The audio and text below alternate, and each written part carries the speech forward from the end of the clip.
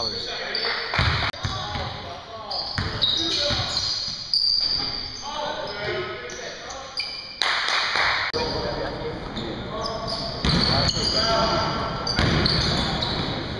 Woo, nice move. Alright, both went so good that time.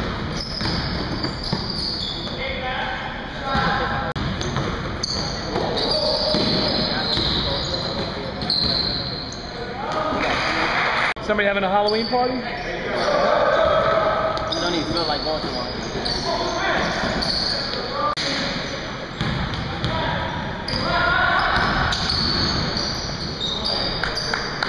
Sixty-eight.